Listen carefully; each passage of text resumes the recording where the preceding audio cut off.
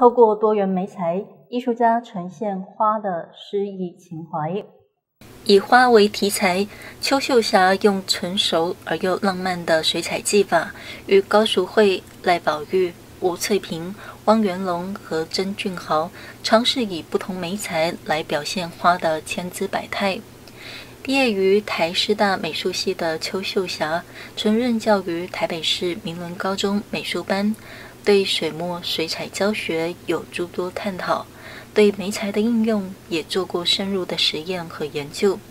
退休之后，以创作为置业，在美国和台湾举办个展，曾获得台北市教师美展国画第一名。作品技法纯熟，留白技巧堪称一绝。因为旅行而写生，让高淑慧兴起拥抱大自然的冲动。儿时的记忆，直朴的乡野。让他的每件作品都明媚灿烂。擅长交彩创作的赖宝玉，热爱大自然的奇花异草，秉持一颗虔诚的心，将手中的画笔当作一炷香，歌咏自然。吴翠萍用刀画出中国笔墨的韵味，同时加入笔的爱恋，在交织的过程中，呈现出浪漫的春之气息。